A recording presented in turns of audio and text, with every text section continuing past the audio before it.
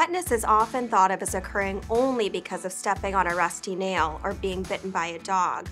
But actually, tetanus bacteria can infect the body through any open wound, especially deep penetrating ones.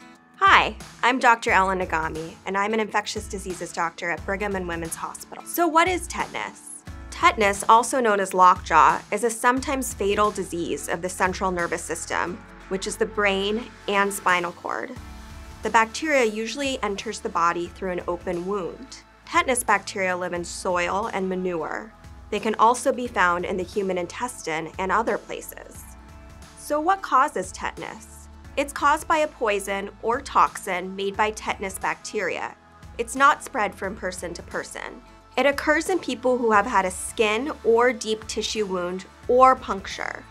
In developing countries, tetanus in newborns can be seen as a result of improper care of the umbilical stump, particularly when mothers are not immunized. After a person is exposed to tetanus, it may take 3 to 21 days to develop symptoms. On average, symptoms appear around day 8. In infants, symptoms may take from 3 days to 2 weeks to develop.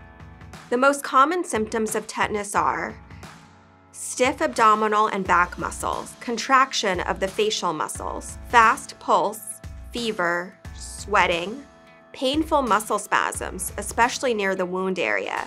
If these affect the throat or chest wall, breathing may be compromised, trouble swallowing. These symptoms may look like other health problems, so always see your healthcare provider for a diagnosis. Let's talk about tetanus diagnosis and treatment. Treatment for tetanus may include thoroughly cleaning the wound, medicines to control spasms, antitoxin injections, use of a ventilator breathing machine if you have trouble breathing on your own, antibiotics, other medicines to control pain and other symptoms such as fast heartbeat. The best way to avoid tetanus is prevention, and the best way to prevent tetanus is to get the vaccine. There are several kinds of tetanus vaccines adults should get a tetanus or TD booster every 10 years, but it can be given before the 10 year mark. Also, for each pregnancy, mothers should receive the vaccine. The DTaP tetanus shot is a combination vaccine that protects against three diseases diphtheria, tetanus, and pertussis. The CDC recommends that children receive five DTaP vaccines between the ages of two months and six years always see your healthcare provider for advice.